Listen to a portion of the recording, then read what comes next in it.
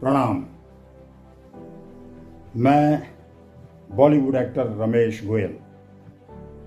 Hindi feature film Nimbo Lucknow वाली 12 मई 2023 के दिन थिएटर्स में रिलीज़ होने जा रही है, जिसके डायरेक्टर प्रोड्यूसर हैं मिस्टर जुनेद अली।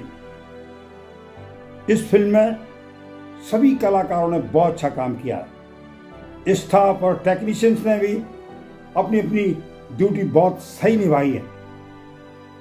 फ़िल्म में बहुत कुछ है। सबसे बड़ी बात यह है कि इस फ़िल्म में बहुत ही अच्छा मैसेज है। हाँ इसलिए जनता जनार्दन से मेरी हाथ जोड़कर प्रार्थना है कि आप इस फ़िल्म को थिएटर्स में जाकर अवश्य देखें आप बहुत एंजॉय करेंगे।